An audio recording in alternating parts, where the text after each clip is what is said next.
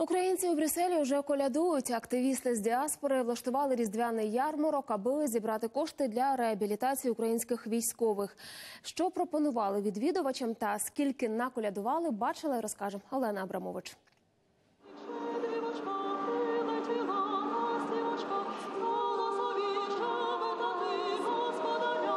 Вишиванки, шаровари, українські колядки та вистава про гетьмана Івана Мазепу на основі романа Богдана Лепкого Мотря.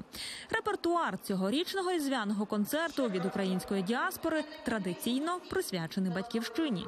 Бо ми дійсно люди, як ті барани, що між собою рогами штурхають один одного, штурхають, І і актори усі місцеві бельгійські українці. Серед асортименту ярмарки теж рукоділля від тутешніх українців.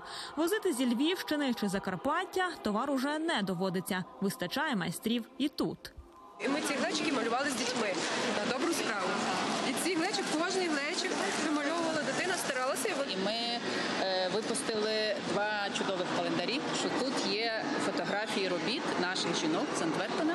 Користуються попитом і речі від українських брендів. Футболки із зображенням Олени Пчілки розібрали дуже швидко. Я давно бачила її в Фейсбуці і дуже хотіла. В рамках проекту дякую за мову. Дякую за мову. І цього року Олені Пчілці виповнилося себе 170 років. Так, ми знаємо, дня народження. Приготували для гостей ярмарки класичні страви української кухні: борщ, вареники, голубці. Вареників десь 200 з чимось голубців ми нарахували, більше сотні. Так. і сметани, пожалуйста. І валя. Смакувати прийшли здебільшого українці зі своїми друзями. Дуже смачно е, голубці вареники. Про те, що це не просто ярмарок, а благодійний захід, знають усі гості. Дехто не полінувався приїхати із сусідніх містечок. Українське ком'юніті в Бельгії не дуже велике, подій досить мало, тому фактично е, треба встигати. Якщо хочеш е, кудись потрапити на таку подію, то вибиратися. Цього разу кошти збирають на медикаменти для поранених солдатів, які лікуються у Львівському військовому госпіталі, та на реабілітацію ветеранів у Кривому Розі. Для нас це важливо, тому що зараз це найбільш болюче питання. Ем, Війна на сході, поранені, які повертаються звідти, поранені як фізично, так і психологічно. Звісно, зібраного всім для допомоги не вистачить, бо це усього тисяча євро, кажуть організатори.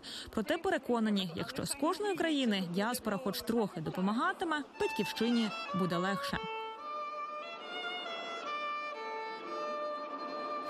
З Брюсселя Олена Абрамович, Євгеній Камінський. Подробиці. Європейське бюро телеканалу Інтер.